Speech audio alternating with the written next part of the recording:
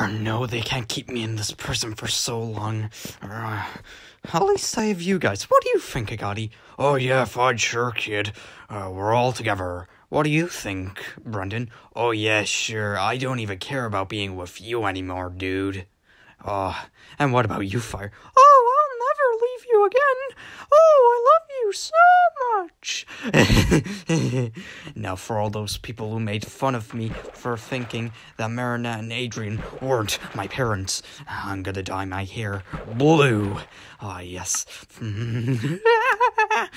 Finally, all the things I need. From now on, I'm anti-buzzer. you better watch out, world, cause when I come out, I'll cause trouble.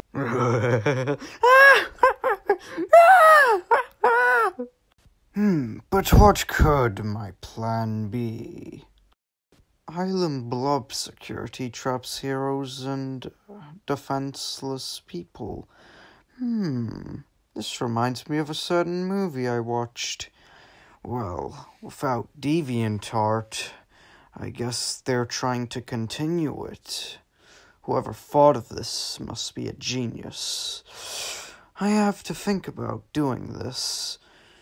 Then I could show the world who I really am anti buzzer.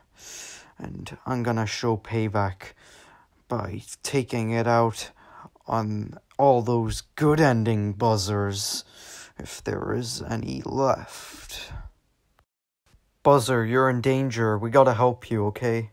Listen, buddy, we'll help you get fire back, promise. I guess this is a real problem.